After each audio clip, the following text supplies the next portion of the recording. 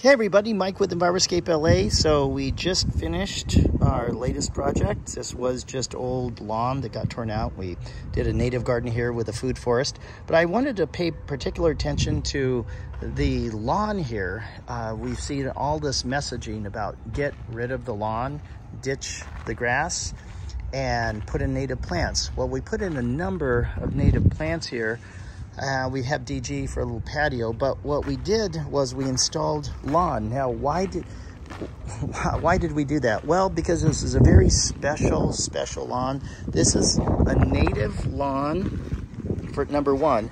It's native and it's mow free, so it'll never have to be mowed.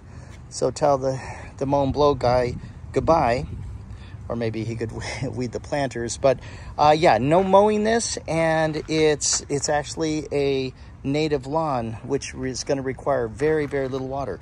Now, because it doesn't get mowed, it's going to grow higher than a conventional sprinkler uh, grow, uh, grows, and so. I'm going to show you how tall these sprinklers are. These are made by Rainbird, and check that out. It's a one foot pop up. So when the sprinklers go on, it, it, pops up 12 inches because we're anticipating this grass to grow six to eight inches. And so obviously a four inch pop-up is not gonna cut it. What I'll do is I'll go ahead and I'll turn the system on.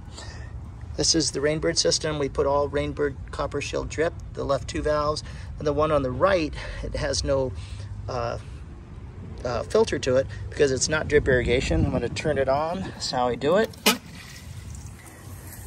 Check that out. Sprinkler head. Check out that sprinkler head. I'll turn it off.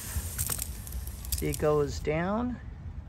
It goes up 12 inches. So the grouse will never be taller than that. And so get those beautiful 12 inch pop-ups. Absolutely gorgeous, made by Rainbird. So they make the drip irrigation, they make the valves, and they make the one foot pop-ups. So if you're gonna do drought tolerant native lawn, you're gonna wanna use the one foot pop-ups. Or you can also use drip irrigation. But just wanted to give you an idea of what this looks like. And here's the timer.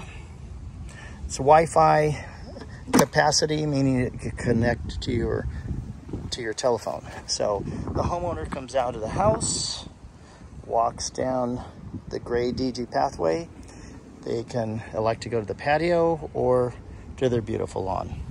Mike with Enviroscape LA uh, signing off. When you think sustainability, think Enviroscape LA.